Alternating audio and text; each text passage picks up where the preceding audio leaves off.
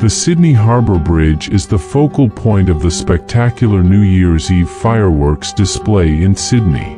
The bridge is adorned with fireworks, creating a stunning visual spectacle enjoyed by millions of people around the world.